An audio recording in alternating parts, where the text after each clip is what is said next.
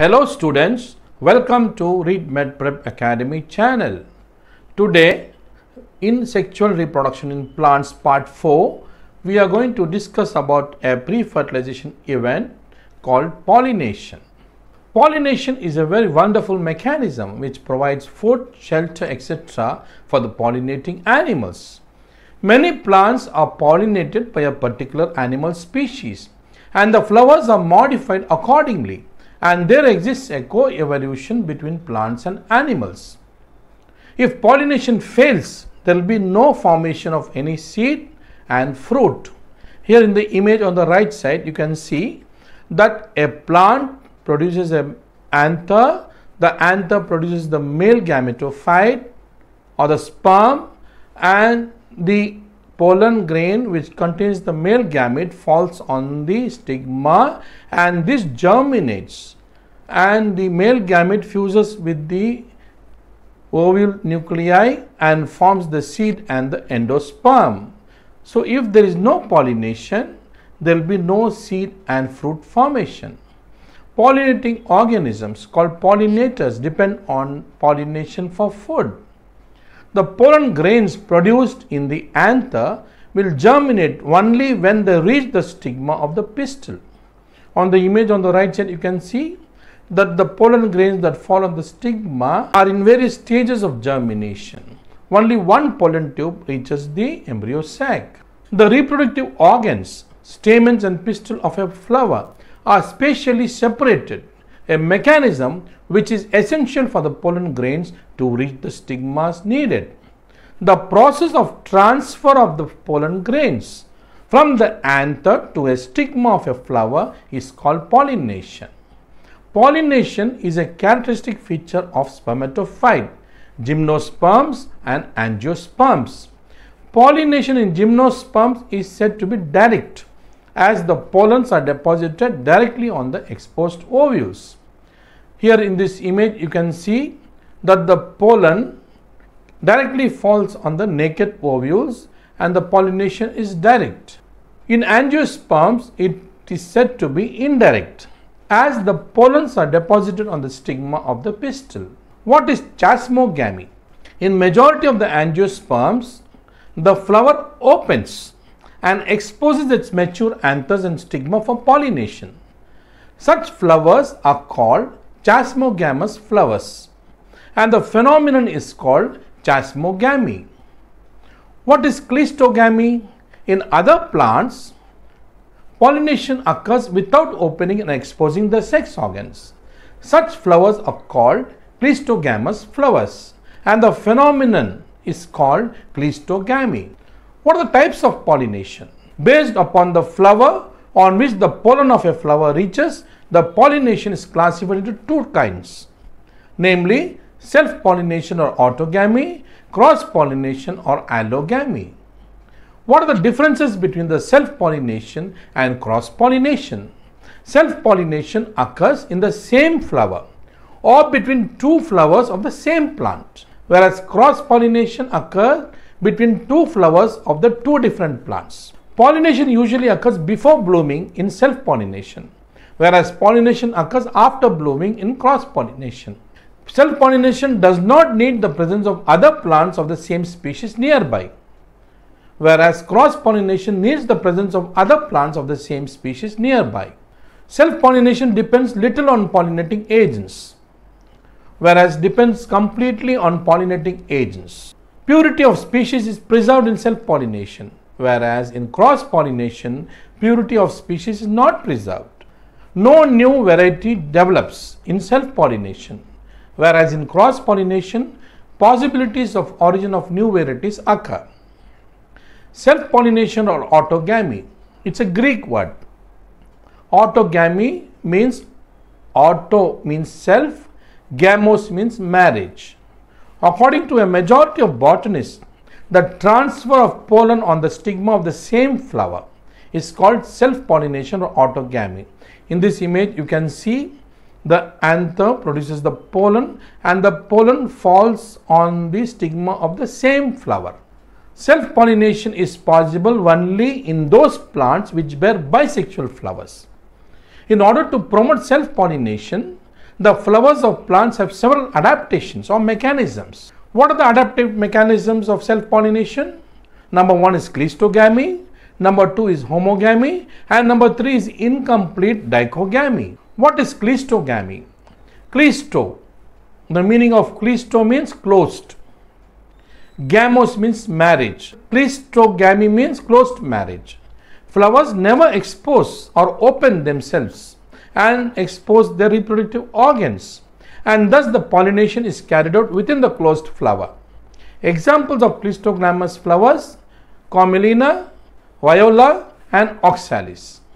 Here you can see on the left side Viola which is a completely closed flower and Oxalis on the right side. Chasmogamous and cleistogamous flowers. In Commelina benghalensis, two types of flowers are produced. One flower is aerial, the other flower is underground. The aerial flowers are brightly colored. Chasmogamous, that means they expose their reproductive organs and are insect pollinated. Whereas the underground flowers are borne on the subterranean branches of the rhizome that are dull, cleistogamous and self-pollinated and are not dependent on pollinators for pollination. Here you can see in this image the chasmogamous flowers which are aerial and the cleistogamous flower that are underground in Commelina. What is homogamy?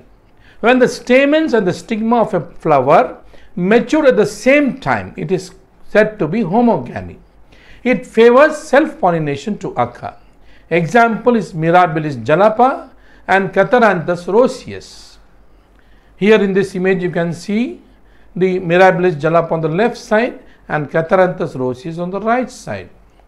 What is incomplete dichogamy?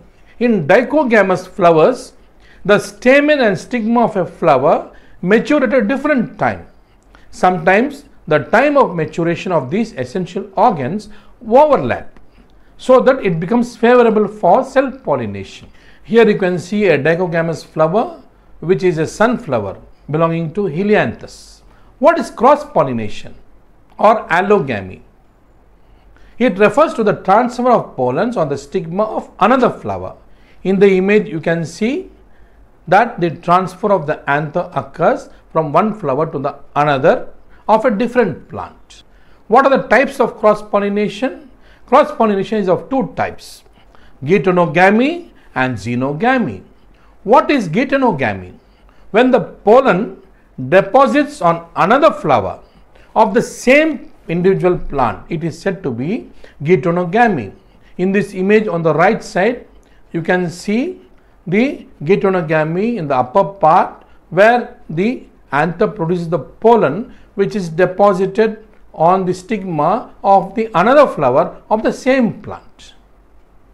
It usually occurs in plants which show monoecious condition. It is functionally cross pollination but is generally similar to autogamy because the pollen comes from the same plant. What is xenogamy? When the pollen which is genetically different deposits on another flower of a different plant of the same species, it is called xenogamy. Here you can see on the left side there is a plant with the flowers and on the right side there is a plant with the flowers and the anther from one flower of a plant is transferred to the stigma of the flower of another plant. What are the contrivances of cross pollination? The flowers have several mechanisms that promote cross pollination which are also called contrivances of cross pollination or outbreeding devices. There are various mechanisms. Number one is dicliny or unisexuality and number two is monocliny or bisexuality. Dicliny or unisexuality is of two types, monoecious and dioecious. Monocliny or bisexuality is of four types, dichogamy, hercogamy, heterostyly and self-sterility or self-incompatibility. Dichogamy is of two types, protandry and protogyny, whereas heterostyly is of two types, distyle and tristyle. Now let us discuss one by one. Dicliny or unisexuality. When the flowers are unisexual, only cross pollination is possible. There are two types, monoecious and dioecious. In monoecious plants, the male and the female flowers are on the same plant. Example, coconut, bitter gourd. You can see on the right side the male bud of a bitter gourd which opens up and exposes the stamen and on the right side you can see the female bud which opens up and forms the female flower having the stigma. So, the both the flowers are present in the same plant. In plants like castor and maize, autogamy is prevented but geitonogamy takes place. On the left side you can see the castor flowers and on the right side you can see the exerted anthers on a tassel. What are dioecious flowers? Male and female flowers on different plants. Borassus, carica and phoenix.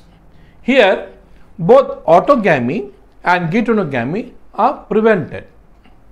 Here you can see in Carica papaya the male flowers on the left side showing the stamens and the female flowers on the right side showing the branch stigma. Now what is monocliny or bisexuality? Flowers are bisexual and the special adaptation of the flowers prevents self-pollination. What are the types of monocliny or bisexuality? Dichogamy, hercogamy, heterostyle and self-sterility or self-incompatibility. Let us see one by one. In dichogamy, the bisexual flowers, the anthers and the stigma mature at different times, thus checking self-pollination. The dichogamy is of two types, protandry and protogyny. In protandry, the stamens mature earlier than the stigmas of the flowers. Example Helianthus clerodendron. Here you can see on the left side the stamens are maturing earlier than the stigma. On the right side the style which is maturing after the stamens have matured. What is protogyny? The stigmas mature earlier than the stamens of the flower. Example Scrophularia nodosa, Aristolochia bracteata. Here you can see the stigma and the style. The stigma matures earlier and on the right side the stamens mature later than the stigma. What is hercogamy? In bisexual flowers, the essential organs, the stamens and stigmas are arranged in such a way that self-pollination becomes impossible. For example, in Gloriosa superba, the style is reflexed away from the stamens. And in hibiscus, the stigmas project above the stamens. Here you can see on the left side the stigma which is bent and far away from that of the stamens. In hibiscus on the right side, you can see the stamens are below and the style is long and the stigma is more far away from the stamens. What is heterostyle? Some plants produce two to three different forms of flowers that are different in the length of stamens and style. Pollination will take place only between organs of the same length. Two types of heterostyle, distyle and tristyle. In distyle, the plant produces two forms of flowers. One type of flower has a pin or long style, long stigmatic papillae, short stamens and small pollen grains. Another type of flowers, thrum-eyed or short style, small stigmatic papillae and the stamens are long and large pollen grains. Example is primula. The stigma of the thrum-eyed flowers and the anther of the pin lie in same level to bring out pollination. Similarly, the anther of the thrum-eyed and the stigma of the pin ones is found in the same height. This helps in effective pollination. Here you can see in the heterostyle in primula whereas there is distyle where there are two types of flowers. On the left side you can see a flower with a long pin style and the stamens are short whereas on the right side which are thrum flowers where the stigma is small and short and the stamens are long above the stigma. In tristyle, the plant produces three kinds of flowers with respect to the length of the style and the stamens. Here the pollen from the flowers of one type can pollinate only the two types but not their own type. Example Lythrum. You can see here the example of Lythrum where three types of flowers are formed based on the types of the style and the stigma. On the left side you can see a long style with a stigma. In the middle flower you can see a normal style and the third flower you can see a short style. Now what is self-sterility or self-incompatibility? In some plants, when the pollen grain of a flower reaches the stigma of the same, it is unable to germinate on its own stigma. Example, Abutilon passiflora. It is a genetic mechanism. In this image, you can see that the pollen grains are produced by a S1 and S2 plant. When these pollen grains fall on the stigma of S1, S2 plant, they will not germinate. If the same pollen S1 and S2 pollen falls on the stigma of S1 and S3 plant, it will also not germinate. It will be rejected. When the S1, S2 pollen grain falls on the S3 and S4 stigma, it germinates. What are the agents of pollination? Pollination is affected by many agents like wind, water, insects, etc. On the basis of the agents that bring about pollination, the mode of pollination is divided into abiotic pollination and biotic pollination. The latter type is used by majority of the plants. What are the abiotic agents? Anemophily, pollination by wind. Hydrophily, pollination by water. Biotic agents called zoophily. Now let us discuss one by one the methods of pollination. What is anemophily? It's called pollination by wind. The wind pollinated flowers are called anemophilous flowers. The wind pollinated plants are generally situated in the wind exposed regions. Anemophily is a chance event. Here you can see in this image lot of pollen dust produced by the flowers which is carried by the wind. Therefore, the pollen may not reach the target flower effectively and are wasted during the transit from one flower to another. Common examples of wind pollinated flowers are grasses, sugarcane, bamboo, coconut, palm, maize, etc. Here you can see in the images the paddy, the bamboo and the grass. What are the characteristic features of the anemophilous plants?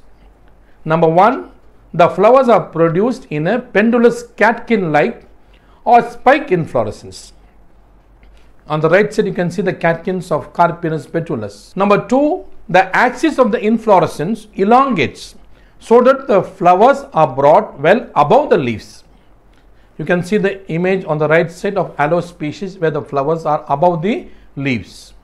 Number three, the perianth is absent or slightly reduced, which you can see in the image where of the stamens and the styles are exposed. Number four, the flowers are small, inconspicuous, colorless, not scented, do not secrete nectar. Example is sorghum. Number 5. The stamens are numerous. Filaments are long, exerted and versatile. You can see in the image of Crateva religiosa on the right side where the stamens are very long. Number 6. The anthers produce enormous quantities of pollen grains compared to the number of ovules available for pollination. They are minute, light and dry so that they can be easily carried to long distances by the wind. You can see in the image on the right side. In some plants, anthers burst violently and release the pollen into the air. Example, Urtica, you can see in the image on the right side. Number 8, stigmas are comparatively large, protruding, and sometimes branched and feathery, adapted to catch the pollen grains. And all these plants usually have a single ovule. You can see in the image on the left side the stigma which is broad and thick. On the right side you can see a branched stigma with the pollen grains. Here you can see the feathery stigma in Zea mays. Number 9 the plants produces flowers before the new leaves appear. So the pollen can be carried without hindrance of leaves. You can see in the image on the right side more number of flowers than the leaves. Now let us discuss the pollination in maize. Zea mays. Maize is monoecious and unisexual. The male inflorescence called the tassel is borne terminally and the female inflorescence called the cob is laterally at the lower levels to that of the tassel. Maize pollens are large and heavy and cannot be carried by light breeze. However, the mild wind shakes the male inflorescence and it raises the pollen which falls vertically down below on the cob. The female inflorescence has long, sticky, silky fibers measuring up to 23 centimeter in length which projects beyond the leaves. The pollen drops from the tassel and is caught by the stigma. Here you can see the pollination Zea mays where the male inflorescence of the tassel is at the tip and the female inflorescence of the cob is at the sides laterally between the leaves and they have a multiple fibrous silky stigma and they catch the pollen that falls from the top from the tassel. What is hydrophily?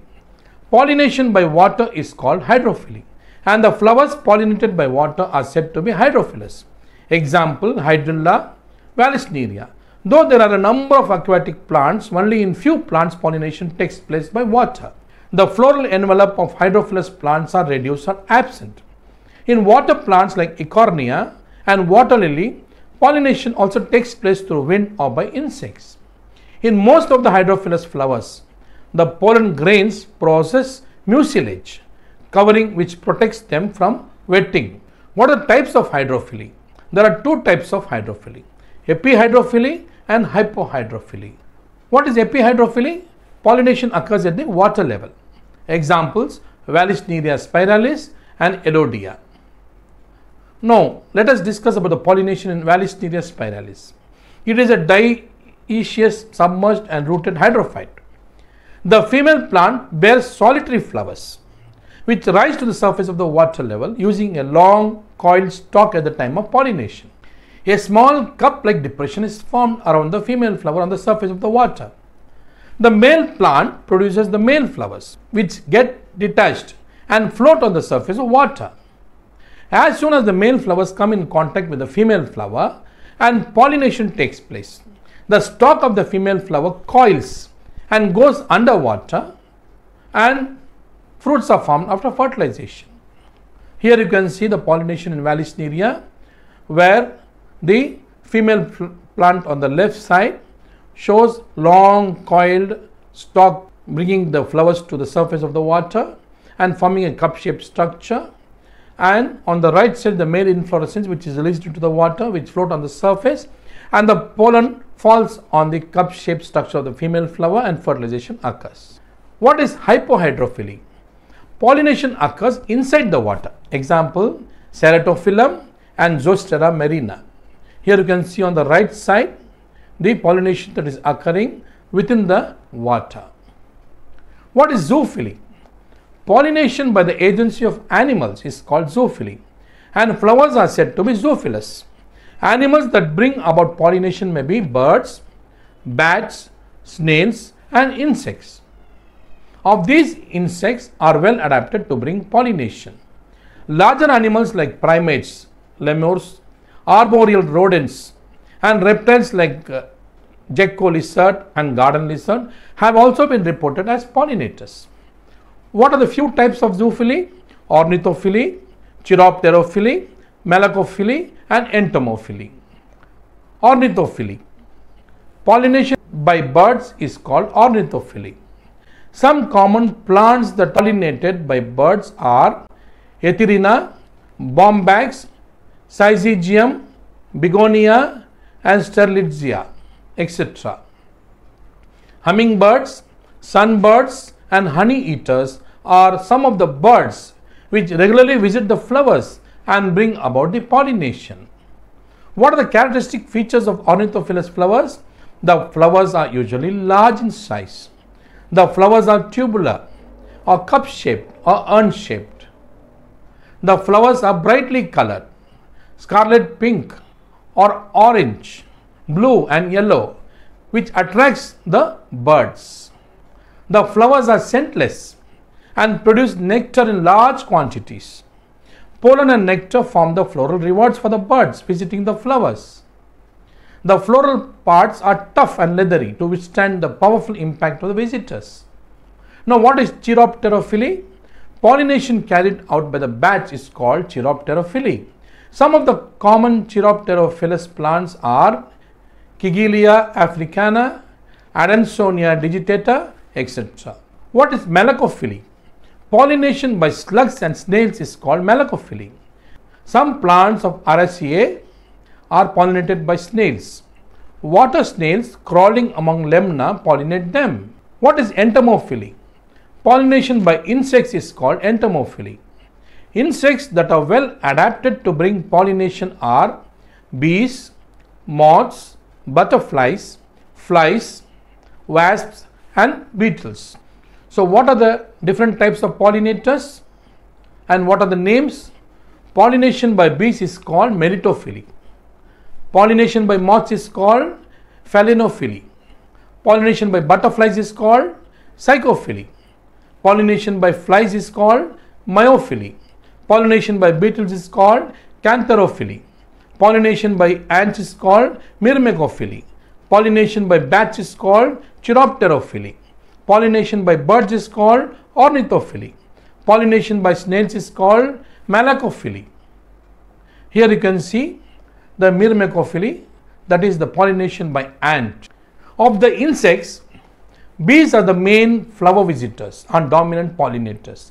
Insects are chief pollinating agents and majority of angiosperms are adapted for insect pollination. It is the most common type of pollination. What are the characteristics features of entomophilous flowers? Flowers are generally usually large or if small they are aggregated in dense inflorescence. Example Asteraceae flowers. Flowers are brightly colored. Adjacent parts of the flowers may also be brightly colored to attract insects. For example, in poinsettia and bougainvillea, the bracts become colored. You can see in the image on the right side, colorful bracts of bougainvillea. Flowers are scented and produce nectar. Flowers in which there is no secretion of nectar, the pollen is either consumed as food or used in building up its hive by the honeybees. Pollen and nectar are the floral rewards of the visitors. Here you can see a honeybee carrying a pollen grain. Flowers pollinated by flies and beetles produce foul odor or attract pollinators. In some flowers, juicy cells are present which are pierced and contents are sucked by insects. So, pollination to sum up is of two types self pollination and cross pollination. Self pollination is called autogamy, cross pollination is called xenogamy or allogamy. Xenogamy or allogamy is of two types by abiotic agencies like anemophily by the wind, hydrophily by the water, and biotic agents cantharophily caused by beetle, phalaenophily caused by moths, melittophily caused by bees, psychophily caused by butterflies, malacophily caused by snails, ornithophily caused by birds, chiropterophily caused by bats, and myrmecophily caused by ants. Now let us discuss the pollination in salvia, which is a peculiar lever mechanism. The flower is protandrous and the corolla is bilabiate with two stamens. A lever mechanism helps in pollination. Each anther has an upper fertile lobe and a lower sterile lobe, which is separated by a long connective tissue which helps the anthers to swing freely. When a bee visits a flower, it sits on the lower lip, which acts as a platform. It enters the flower to suck the nectar by pushing its head into the corolla. During the entry of the bee into the flower, the body strikes against the sterile end of the connective tissue. This makes the fertile part of the stamen to descend and strike on the back of the bee. The pollen gets deposited on the back of the bee. When it visits another flower, the pollen gets rubbed against the stigma and completes the act of pollination in salvia. Here you can see the flower on the left side where a bee enters into to suck the nectar and the anther which is present in the upper part of the stamen strikes the back of the bee and the pollen dust deposits on the body of the insect. When it reaches another flower, the stigma that is present touches the pollen grains and the pollen grain is transferred to the stigma. This is the method of pollination in salvia which is a lever mechanism. Other mechanisms found in plants are trap mechanism in Aristolochia where the corolla has lot of curved hairs and the insects enter inside to suck the nectar and to take the food of pollen. During that time the pollen gets attached to the or gets rubbed to the body of the insects and these insects reach another flowers and the pollen is transferred to the stigma of another flowers. Here you can see the pit fall mechanism which is seen in arum. Here the corolla has a pit like structure where the insects fall into the pit and the anther opens up and the pollen grain is carried by these insects outside and reaches the other flowers. Clip or translator mechanism is seen in Asclepiadaceae where a butterfly you can see in the image carries the entire pollinium or the translator and this helps the pollination. In Papilionaceae you can see the piston mechanism. When the insect enters into the keel, the pressure on the keel causes the pollen to be pushed out like a piston from the anther. What is the importance of pollination? Pollination is a composite event. It provides information about evolution, ecology, animal learning, and foraging behavior. Flowers not only provide nectar but also provide microclimate, site and shelter for the egg laying insects. The association of insects benefits the flower by getting pollinated and ensures the propagation of its own progeny. The floral parts are well modified in shape, size to attract the pollinators to accomplish the event of pollination. Now, let us see the relationship between the yucca and moth Tegeticula yuccasella. It is an example of obligate mutualism. It collects the pollen and pushes it in the form of balls down the hollow end of the stigma while visiting the flower to deposit her eggs. The moth bores a hole in the ovary of the flower and lays the eggs in it. And this causes fertilization and the seeds develop. Larvae feed on the developing seeds. Some seeds remain unconsumed for the propagation of the plant species. Yucca moth larvae you can see feeding on the seeds in the yucca fruit. The cost of some of the fruit is outweighed by having such an efficient pollinator.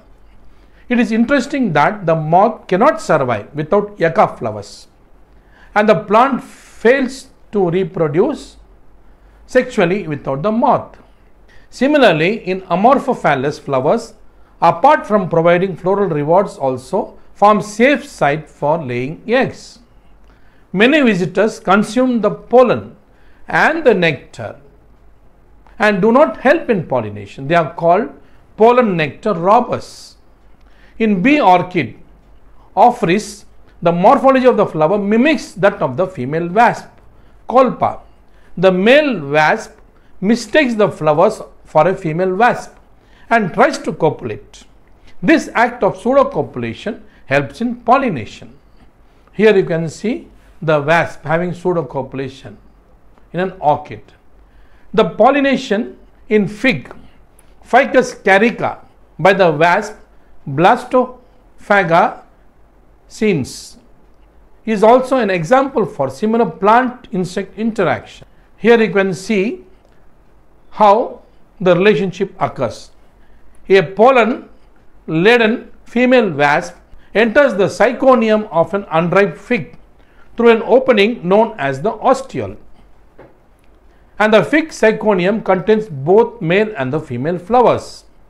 The wasp lays eggs within some of the flowers in the syconium.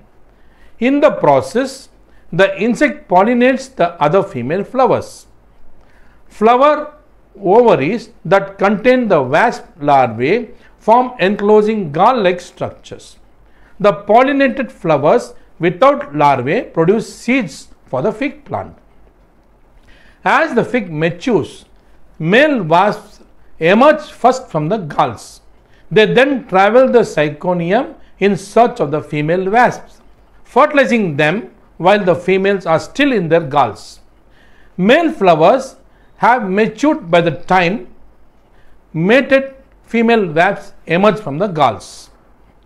Without ever leaving the syconium, the wingless male wasp escapes, digs tunnels for their mates and then die. After collecting pollen from the mature male flowers within the ripe fig, each mated female wasp escapes through a tunnel. The female wasp carrying pollen flies to another fig tree in search of a syconium in which to lay her eggs. She dies within the syconium soon afterwards. This is the relationship between the insect and the fig. So, today in sexual reproduction plants, part 4, we discussed an important pre fertilization event called pollination and we also discussed the importance of pollination. Thank you. Kindly subscribe, like, share and comment our channel Read MedPrep Academy. Log on to www.readmedprepacademy.com. Our Facebook ID is Read MedPrep Academy. Our email is readmedprepacademy at gmail.com. Kindly post your questions in the comment box. We will reply with appropriate answers. Thank you very much.